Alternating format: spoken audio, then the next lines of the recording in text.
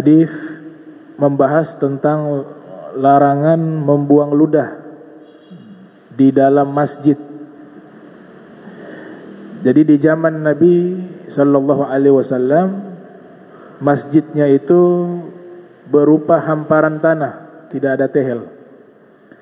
Sehingga banyak yang membuang ludah di dalam masjid.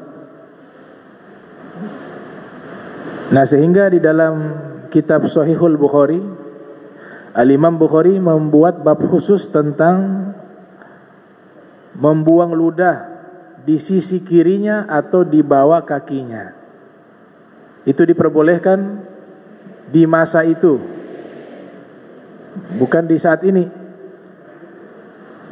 Kenapa diperbolehkan di masa itu? Karena mereka nanti tanam dengan pasir atau tanah kalau di sebelah kiri, ya mereka dengan kakinya menutup ludah itu dengan pasir. Karena e, tekstur tanah yang ada di Jazirah Arab itu berupa pasir. Atau ditanam. Kalau di bawah kaki juga demikian. Ludah ini tidak najis suci. Ludah suci. Lendir. Najis apa suci lendir? Lendir sama air liur. Air liur najis. Lendir ada khilaf, ada yang mengatakan najis. Ludah suci. Kalau liur itu biasa tidur dengan posisi terbalik, terlentang, keluar cairan, aroma baunya busuk. Nah itu najis. Makanya baju yang dipakai tidur biasa kalau kita tidur menggunakan baju kaos dalam. Nah itu jangan digunakan untuk sholat Karena kita tidak tahu apakah Di saat kita tidur terkena air liur apa tidak Kalau terkena air liur otomatis pakaian ini sudah terkena najis. Dan jika digunakan sholat, maka sholat kita tidak sah. Jadi, pakaian tidur khusus, baju dalam untuk pakaian tidur. Kalau untuk sholat diganti yang yang baru. Itu sebagai bentuk al-ihtiyat. E, berhati-hati. Dikhawatirkan terkena air liur. Tapi kalau air ludah, suci. Kalau lendir, Kebanyakan ulama mengatakan najis. Ada gaul-gaul yang mengatakan suci.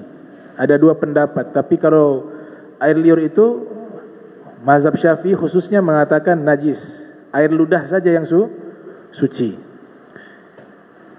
Darah yang ada di mulut kita mungkin dia sariawan. Kalau masih ada di mulut kita kemudian tertelan atau kita sengaja telan? Maka hukumnya darah tersebut dikatakan dia hukumnya itu tidak najis kalau dalam mulut. Tapi kalau sudah keluar baru kita tarik lagi maka diharamkan. Karena di dalam kaidah fikih kalau masih berada di dalam maka masih mengikuti anggota tubuh.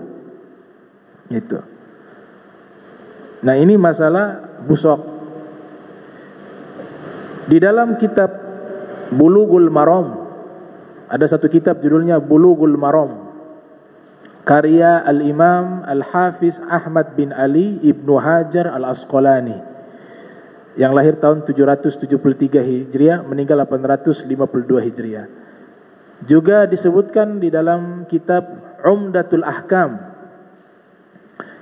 karya Abdul Ghani Al-Magdisi ulama Hambali kalau Ibnu Hajar ulama Syafi'i. Tamadhab Syafi'i. Ibnu Hajar Asqalani bermazhab Syafi'i. Al-Imam Abdul Ghani Al-Magdisi bermazhab Hambali. Abdul Ghani Al-Magdisi ini pernah belajar kepada Syekh Abdul Qadir Jailani. Pernah bertemu dan belajar kepada Syekh Abdul Qadir bin Musa Al-Jailani yang lahir 471 Hijriah meninggal 560 Hijriah.